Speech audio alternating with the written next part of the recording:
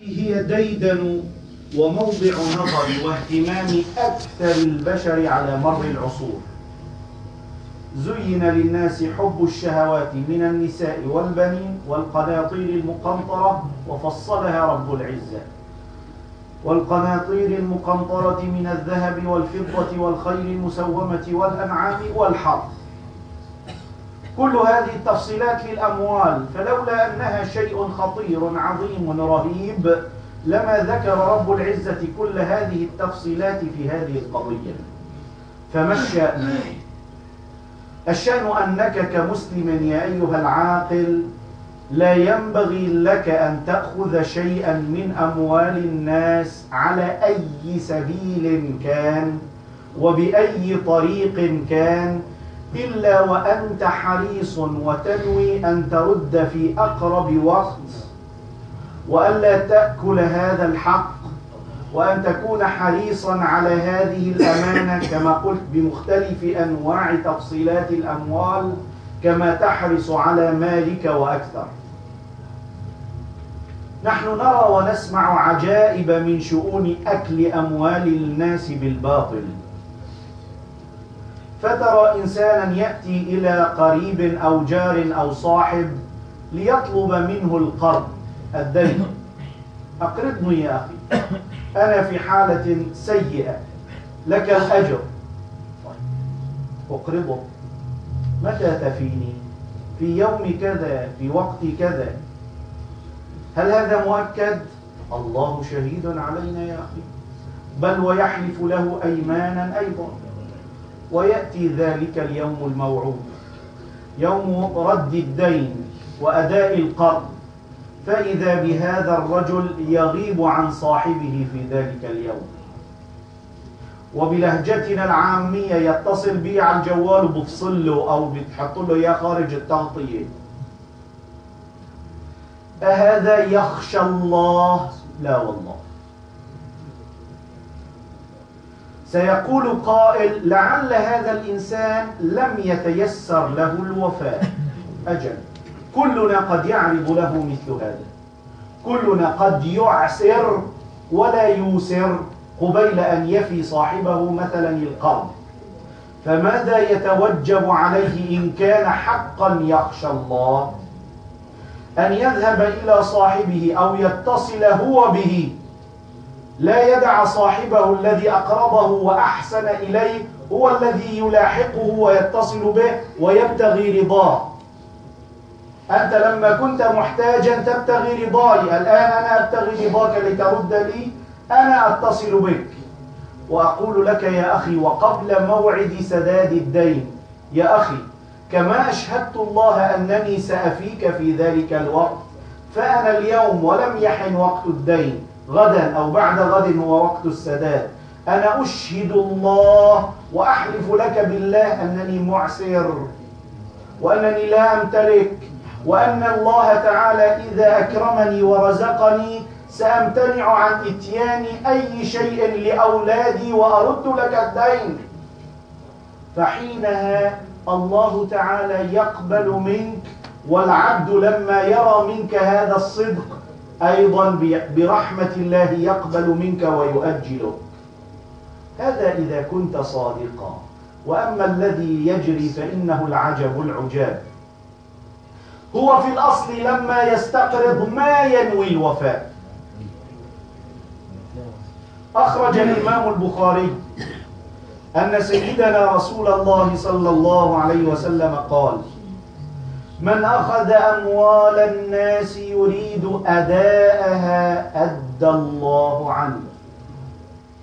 ومن أخذها يريد إتلافها أتلفه الله.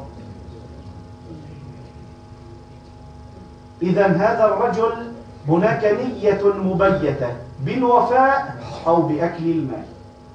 إذا كانت نيته منذ الأصل أن يفي أعانه الله على الوفاء وإن كان في الأصل لا ينوي أن يفي فإن الله تعالى سيبتليه بما يمحقه هو وأهله.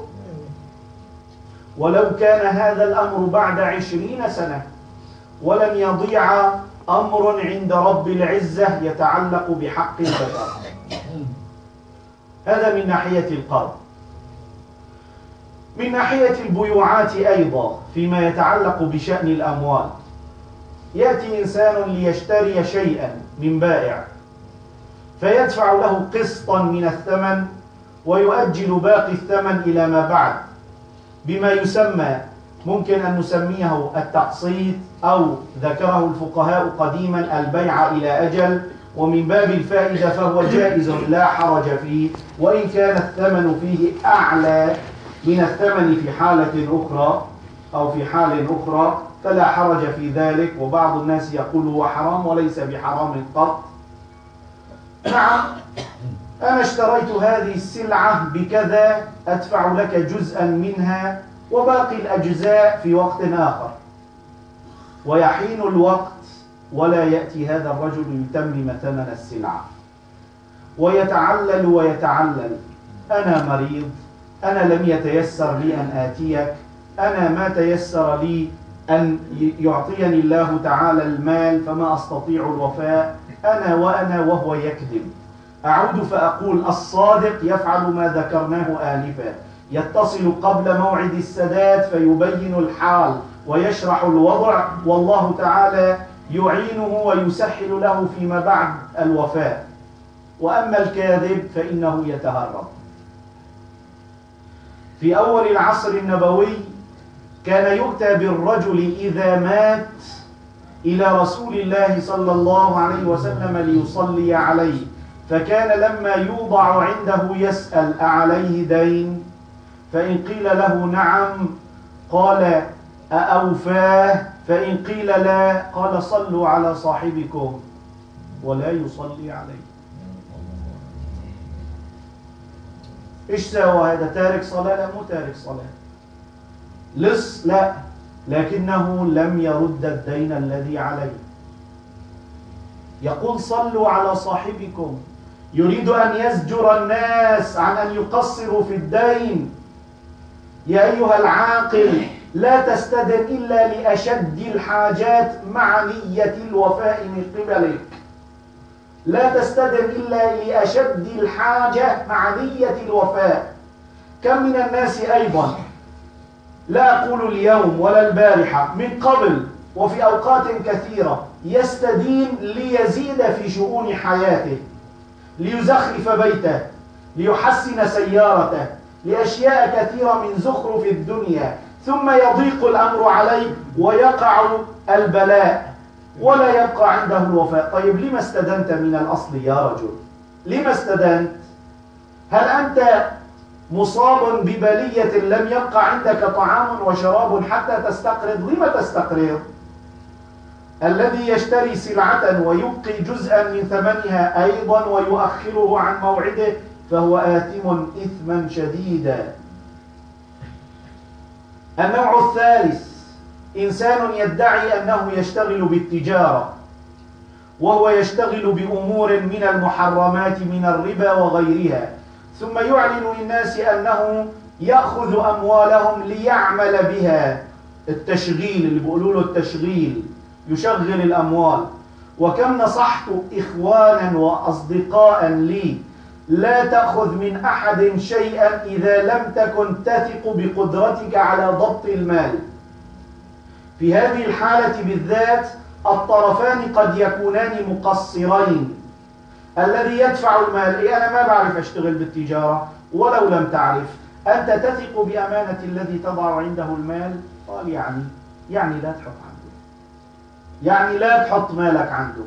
حتى إذا ضاق الأمر عليك قلت أنا وأنا وأنا وأنا. أنت في الأصل تثق شيئا يسيرا بأمانته فإذا أنت معرض نفسك للخطر لا تضع المال عنده يا إنسان.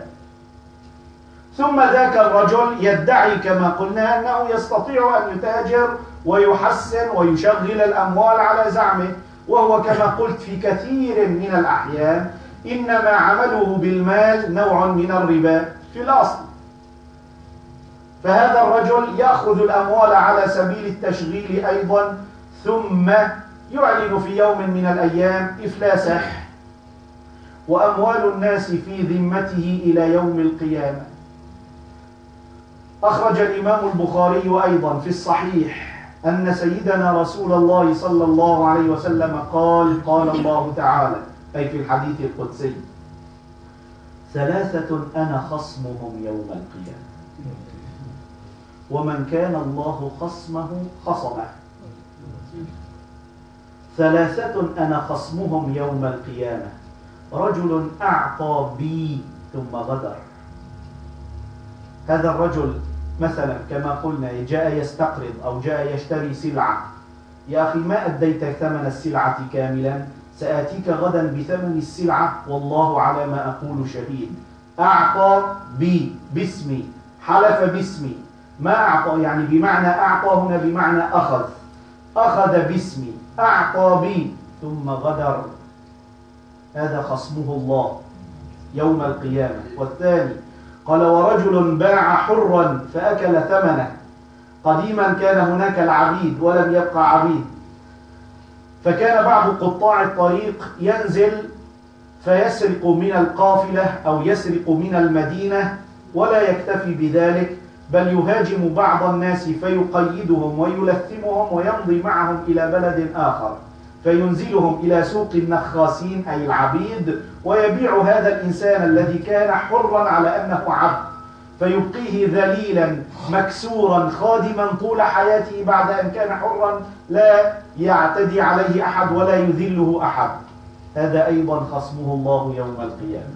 وأما الثالث قال ورجل استأجر أجيرا فاستوفى منه ولم يعطه أجره. وهذا أيضا من هذه الأنواع التي أذكرها من طرق أكل أموال الناس بالباطل التي هي من أخطر الخطير. الأجير أنواع قد تكون صاحب معمل أو ورشة أو دكان ويشتغل عندك, عندك أجراء. ويعملون بأجرة في الأسبوع أو في اليوم أو في الشهر. فلما يحين الوقت وكم يحصل هذا؟ وأيضا هذا أمر مؤلم مؤسف ويحين وقت الأسبوع أو وقت الشهر. يا معلمنا هات المال بكرة. لكن أنت صاحب رأس مال تقول بكرة؟ طيب وهذا الضعيف ماذا يفعل بنفسه؟ اتق الله.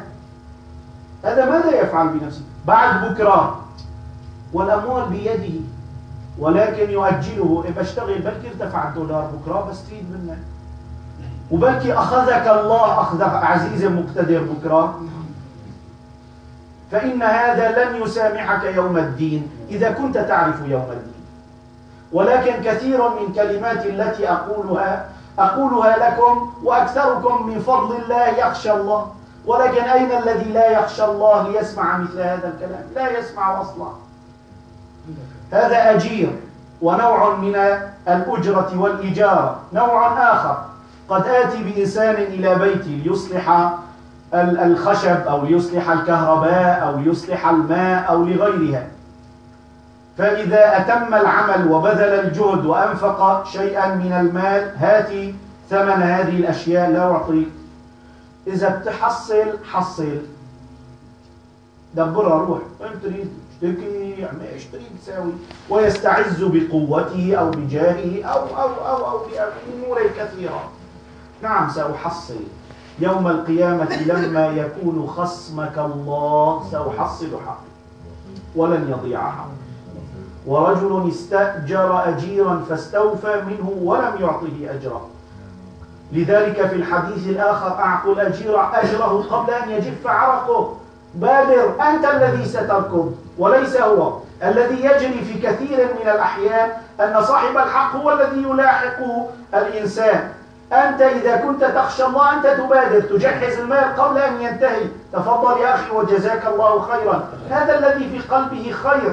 هذا الذي إيمانه قد أضاء وأنار قلبه. وأما الذي انطمس نور الإيمان في قلبه فما نقول إلا هداه الله تعالى.